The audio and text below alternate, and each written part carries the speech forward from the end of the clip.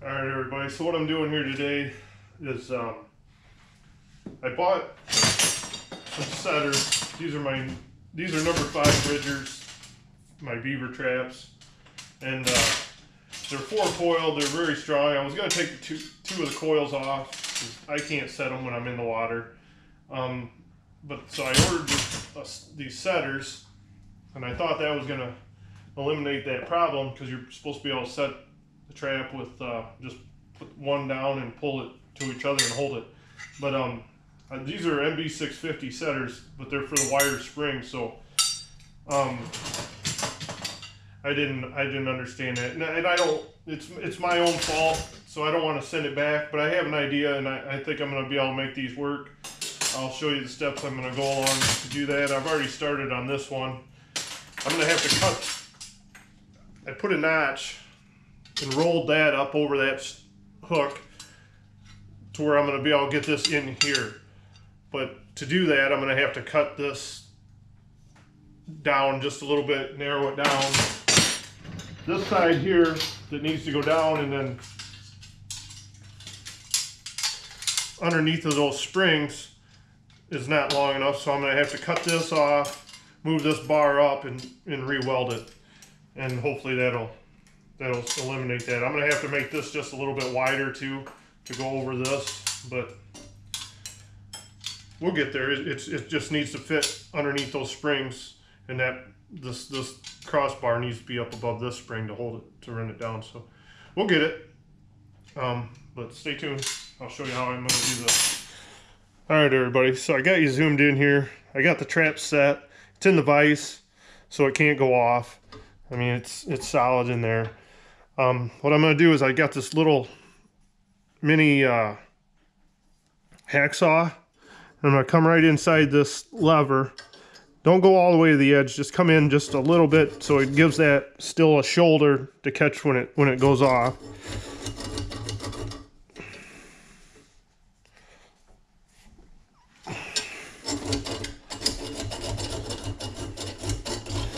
And I'm just going to cut up this way and I'm going to cut up this way on the bottom. And then once I get that cut I'll bring it back and I'll show you I'm going to take a chisel and roll that up around that spring. Stay tuned. Okay I forgot to mention this. This the spring goes across here. You could add you could either cut this off this part here I hope you can see it good enough. You could cut that off flat. It does not need to be that L shape. It doesn't need to be but I'm going to leave it what I do is just take a pair of channel locks or uh, vice grips and uh, just bend it up out of the way. That's all you got to do. And it's not going to hurt nothing. Then that gives you this little extra edge here that you're gonna you're gonna cut out and uh, roll over to get, and it's just gonna roll over that spring anyway. So like I said, you can either cut it off or bend it up. All right, I got that sewed or sawed. I, I, like I said, I bent the spring up and I just uh, got done sawing up here probably somewhere around an eighth of an inch, just up to the spring. So now what I'm gonna do is I'm just gonna take the vice grips again and just kind of turn that over to where it's wrapped up there around that.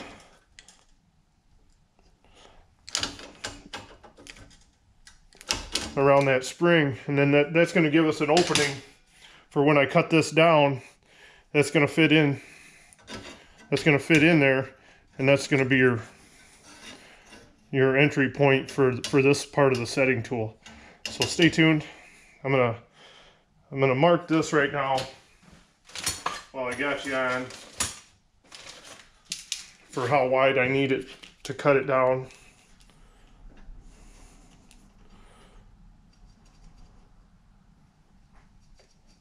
So I need to I need to cut it down to that width.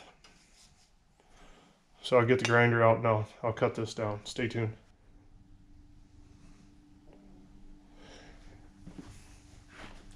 All right, I actually found a little bit better way of doing this. In with everything, first time you do it, you'll find something easier. I got a pair of um, channel vice grips. I keep saying channel locks. I don't know why. Pair of vice grips holding this trap so it can't go off. Um, I got that cut like I showed you. So I'm just gonna make it easier on myself than trying to bend that around. I'm just gonna hit it with a chisel and wrap that around there like that. And then maybe take a punch to finish it. I know this is a lot of work, but, and people would think I'm crazy, but like I said, it's gonna make my life easier in the long run. That I'll have setters, there, that's wrapped around that spring. So, I mean, at least now I'll have setters to do this, so.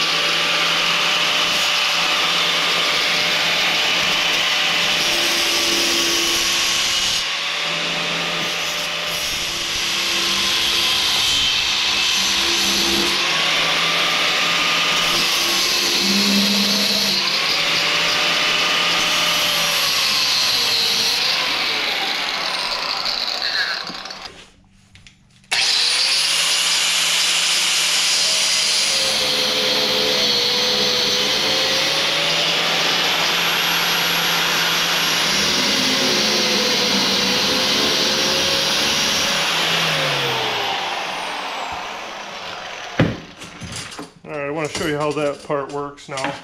I got that cut down narrower to fit into here where I where I bent that up around that spring.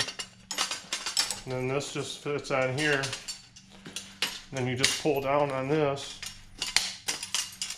And then that holds it right to the base of your, your trap. So then when I get this one to this side, I'll pull this down, then you'll be able to hold them both together. You'll be able to hold that trap open with one hand. All right, so what I'm gonna do now is I'm gonna take that grinder and I'm gonna cut this off, cut this off, um, and I'm gonna move it up here. Um, I think I'm gonna have to put like a piece of pipe or something in here and pound down and widen this because it's gonna have to be wider than than that. See, it'll fit. It'll fit over it there, but once I get it up to where it needs to be, it's not going to be quite wide enough. I mean, I'm just going to have to bend it a little bit, but it won't hurt nothing. So, okay, so I cut that bar off, and now I'm I put it over my springs, and I'm marking it. There's the top. I got it marked there, and right here is where it's the right width to fit over those springs. So what I'm going to do is put it in the vise here. I'm going to bend this up straight and then then from there on we'll have our angle. But this is just I just want them to be wide enough to go over the springs. Instead I mean they could go like that. I could weld that bar back into here, but I, I just I want it behind the springs the way it's supposed to be. And then uh, then I'll take and I'll weld this back in. So stay tuned. All right, so I got this bent at those marks. So it, from here now it's straight here to where it'll fit over that spring lever. And I got a piece of round stock. The piece that I cut out of here is actually too short. So I got another piece of round stock here that I'm gonna go ahead, I'll mark it, and then I'm gonna, I know my hands are in the way, but I'll mark it and then I'll tack that right there. And then that's gonna be hopefully the, the end of this. And I mean, I think they're gonna work great. So let me get this welded on there and then I'll bring you back. All right, everybody. So I got that welded up, back in business. Sits over there perfect. Sits right, right onto those springs. And then right on the top of this lever. And we take this one that we cut down, put it into that notch that we uh, did on that spring. pull them down together like that. And see, I can hold that trap with one hand. And now I can set this while I'm out in the water.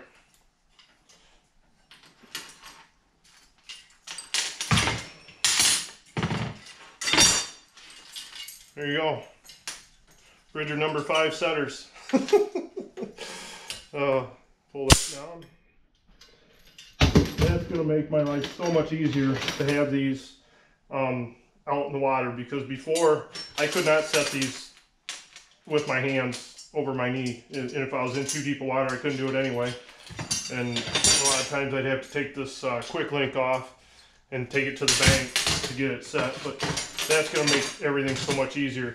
What I think I'm going to do, I'm going to drill a hole in here and uh, put a put a piece of string between this one and, and then tie it to this one so that they're together. And then I think I'm going to paint them yellow or something so if I lay them down I don't lose them. But yeah, that's that's pretty pretty sweet for me. You know, like I said, I ordered the wrong setters, but that was my fault. One more time. I mean, I'm not saying it's easy, easy, but it's not. You know, I can do it. Before I couldn't, not in the water. Thank you so much for watching. I really appreciate it. Man, this, like I said, this makes me happy. I just got to go through the rest of these traps. And uh, I got two more that I got to do that just to the to this lever. That's all I got to do. But the setters are done.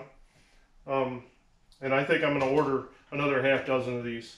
Because I want to have at least a dozen drowning rods and a dozen traps ready to go this year. So, till the next video, man, I really appreciate watching. appreciate all the support. The trapping's coming. Just what you, I can't wait. And uh, pretty soon it's gonna it's gonna be here. So stick stick around for that. You're you're gonna. I think this is gonna be a good season. I, I mean, I really think this is gonna be a season to remember. Last year was a season to remember for sure for me. But uh, this season here, I think is going to be something special too. So stay tuned. Next, after till the next video. Good luck with everything.